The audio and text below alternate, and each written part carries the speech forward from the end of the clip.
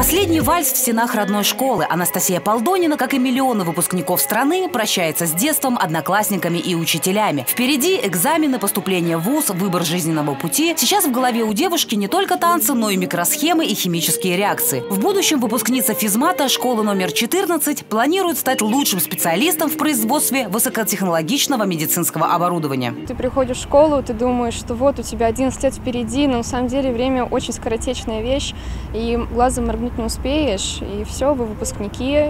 И я думаю, что буду вспоминать всех и хорошие, и плохие моменты, потому что за 11 лет вы класс, вы целая семья становитесь. Учителя – ваши вторые родители. Новый этап начинается и для учителей, которые волнуются не меньше, отпуская своих учеников в большую жизнь. Конечно, каждый год у нас звучит последний звонок, но каждый раз это новые волнения, как будто в первый раз.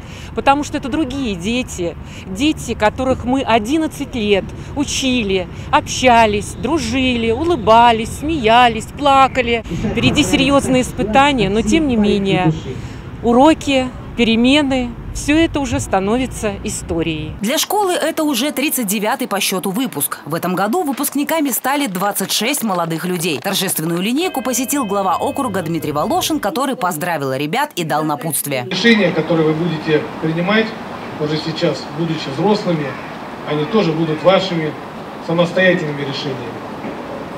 Я очень надеюсь на то, что вы не будете забывать наших учителей, которые все это время были с вами, помогали вам, вели вас. Я искренне надеюсь, что вы поступите именно в те институты, вузы, в которые вы хотите поступить. И родные химки будут гордиться вами. Гордиться уже есть чем. В этом классе 5 медалистов, 6 обладателей золотых значков ГТО и даже победитель конкурса «Большая перемена», который выиграл миллион рублей на обучение. Пусть э, вы получите специальность и обучитесь той профессии, о которой мечтали. Мечты должны сбываться. Совсем скоро достижения учеников школы номер 14 смогут пополняться и спортивными успехами. По словам руководства округа, на территории учебного заведения появится стадион, футбольное поле с искусственным покрытием, беговые дорожки, площадки для прыжков. Держать высокую планку предстоит следующим поколениям школьников, которые тоже пришли поздравить старших товарищей. Станем мы достойны смерть, нам еще идти, идти. Ну, а вам дороги верны. Всем!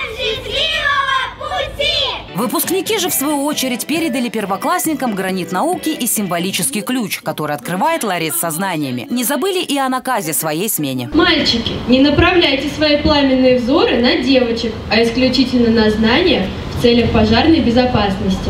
И вот тот самый момент, когда пора попрощаться со школой. Последний звонок.